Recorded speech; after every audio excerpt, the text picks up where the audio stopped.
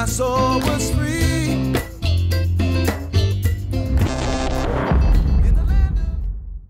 I'm Rosa Linda Roman, and this is New Mexicast.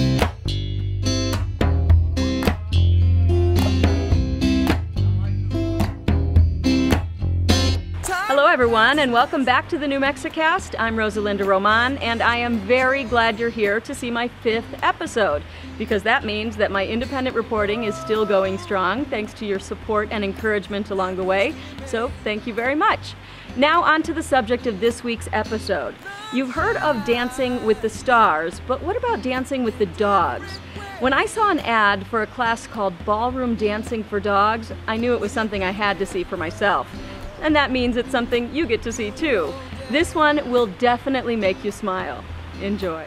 This episode and this gorgeous New Mexicast logo are brought to you by FoundationImaging.net, where they transform your engineering, architectural, and entrepreneurial visions into compelling photorealistic renderings. You will be amazed at what they can do for you.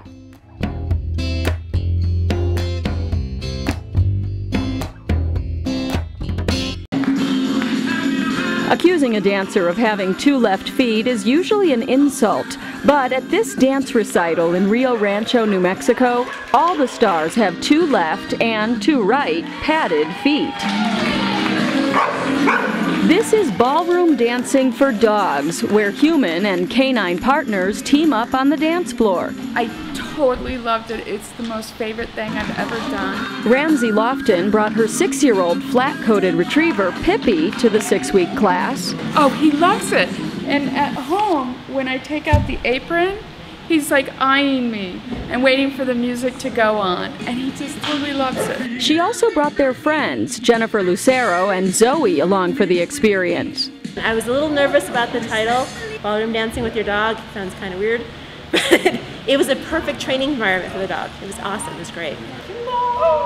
In fact, the name is just instructor Rosalie James's way of getting people interested in the internationally recognized sport of canine freestyle. uh, you say canine freestyle, nobody knows what that is. And so we say ballroom dancing for dogs, and their eyes light up and they get the idea right away.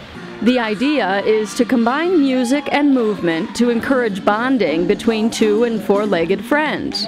With agility, they have to get over fear elements, and with obedience, there's like this whole discipline thing.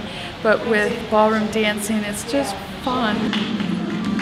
At this recital, the teams show off some canine freestyle moves like marching,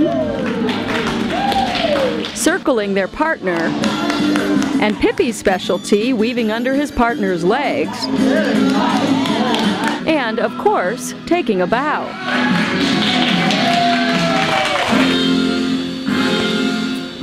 They also each perform a choreographed routine. During her moment in the spotlight, Allison Thomas's Weimaraner Sophie wasn't sure she wanted to perform her signature move on cue.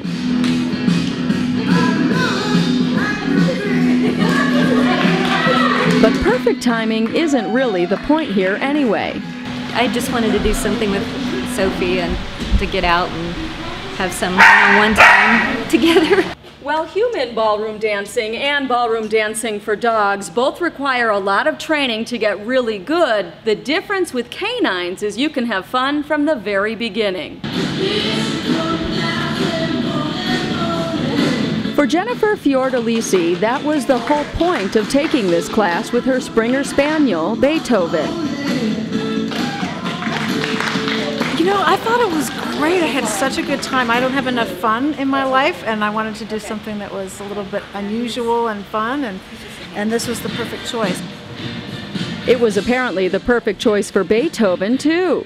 I could tell when we got here in the car, even the second week, I mean, he was very excited about being here. He knew what was going to happen. Look at that. Isn't that something? For Rosalie James, encouraging happy dancing is what it's all about.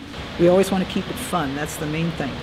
There's no way that you can train a dog to look happy. Judging by all the grins and wagging tails here tonight, these are some pretty pleased performers. I'm Rosa Linda Roman. Well, if you are interested in ballroom dancing with your own dog, you can find a link to Rosalie James's website on my website. That's at www.newmexicast.com. Thanks again for watching. Have a great two weeks. We'll see you again soon. I'm Rosa Linda Roman. And again, here on New Mexicast, the TV show, you do not have to wait two weeks for the next episode. Just meet me back here next week.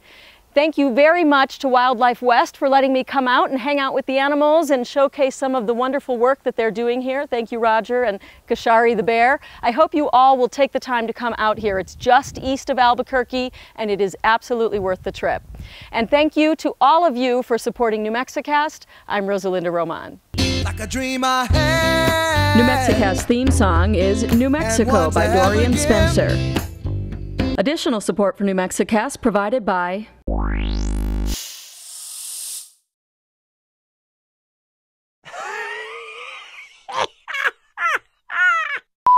Kids and wildlife don't perform on demand. I learned that the hard way. you may not realize is that it, does, uh, it also can be great for animals. Of course, that was shot quite a while ago. Three, two, one. Three, two. I'm gonna start sweating before we're done.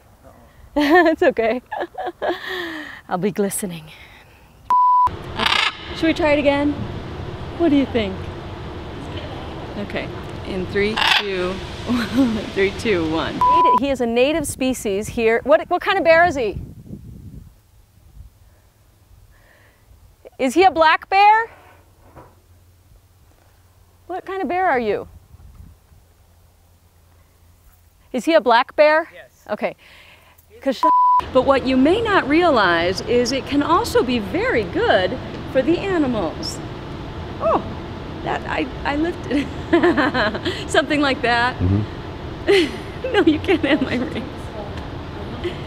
No, not for you. Not for you. I've only seen him sleeping, so this is like the most amazing thing for me. Hi, Kashari. You are the coolest bear. You look a lot like the bear I saw in my waterfall. Except you the bear that was in my waterfall scared me a lot. It's kind of nice to have a fence between us. Yeah. Entertaining for a lot of kids. Enjoy.